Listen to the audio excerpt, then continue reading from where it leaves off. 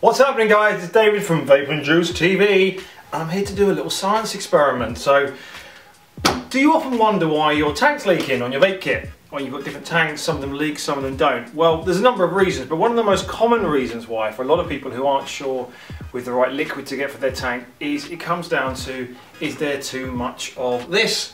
PG, propylene glycol. So e-liquids are made out of a number of things, but two of the major constituents are PG, which is, see there, quite runny, and this much heavier tub uh, is VG, vegetable glycerine. Um, this generally makes the cloud.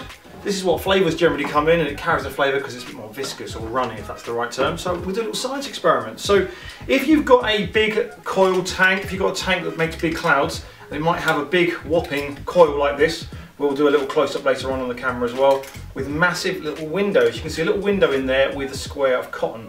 That's where the liquid gets absorbed into and gets vaporised.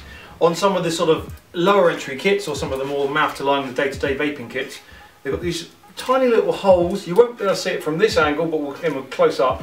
This is a BVC coil for an Aspire. Tiny little hole, um, which means you're really going to want to use liquids with higher amounts of PG because they're runny and they can get a tiny hole.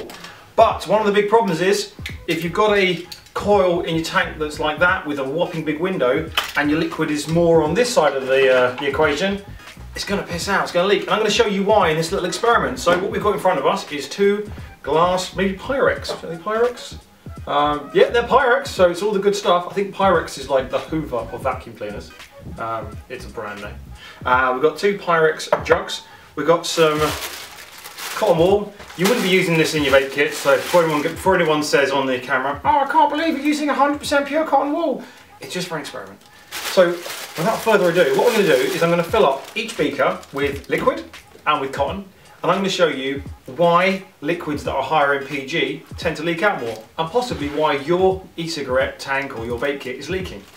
And this is the best way, visual experiments. And we haven't planned this either, so this could go terribly wrong.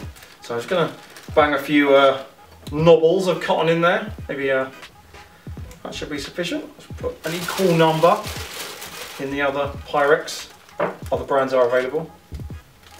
Just gonna move this out. I think some people find it disgusting to chew on cotton. Disgusting! Oh, horrible. Um, oh. Anyway, let's just uh, bin this cotton off for the meantime. It's quite a lot of cotton we got here.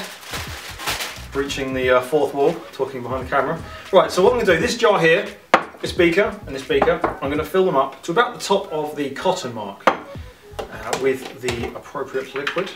Let's take this lid off. Good, came off first time. Let me worry. Alright, let's do the VG first. Now VG's thicker, takes a bit longer for it to absorb. Oh, already leaking. You can see there, it, the cotton's absorbing it. Gradually going to see going to level go down. And this is going to go terribly wrong. You can see now the juice is sinking down. And about the same amount, we can do it at the top of the line. Sucks up there. Chuck another cotton wool ball in there. This absorbs fast. But this is what happens and why it's like to leak. Let me just take these out of the way. So, right, I put my hand over the top. And so imagine this is a VG tank and these finger gaps here are the holes in your, tiny little holes in your tank or your coil or your vape kit. And this is of course uh, the same with the PG. So we're going to tip it upside down, one, two, three.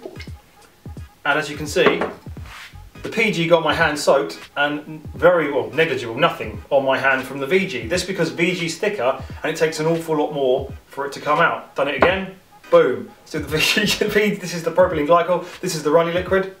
Straight down, all over my hand again. That is why your vape kit is possibly leaking. Thanks for joining my science experiment, and if you found this educational, please share it on to a friend or subscribe to us in the link below. Vape and Juice TV. See you soon.